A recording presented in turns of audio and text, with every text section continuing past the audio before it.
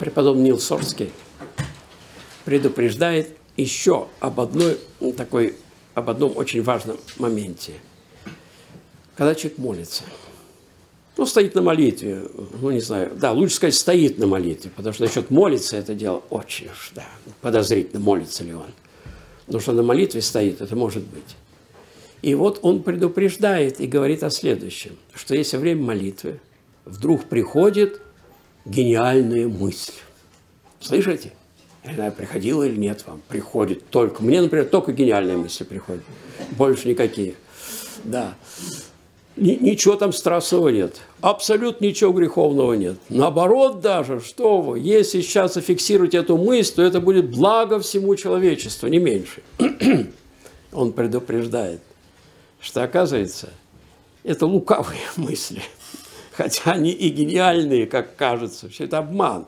Да. Опасно подчиняться, потому что за ними, за этими бесстрастными, но принятыми мыслями – оказывается, как за веревку тянутся. Знаете ли, где-то я видел, сейчас скажу, тянутся, видел картинку однажды, что-то столкнулись машины, и вот из одной маши, машины выходит такой накачанный, все, ну, все, горилла. Так, а из другой выходит какой-то мужичишка, господи, ну его одним пальцем он прибьет. А он за собой раз ведет тигра, и тот в ужасе. сразу.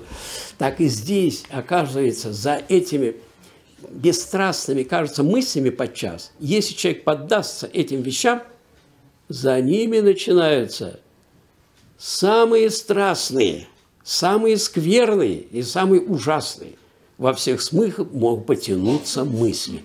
А оказывается, они очень ловко все построено.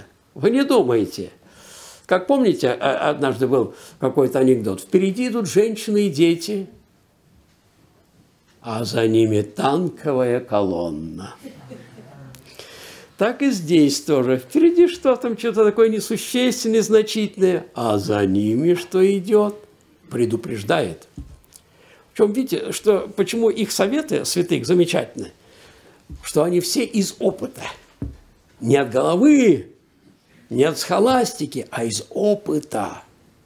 Они увидели, что следует, как следует одно за другим, и предупреждают, оставляют нам этот опыт, который имеет действительно великое значение для каждого человека, хотящего, ну, хоть немножко стать христианином.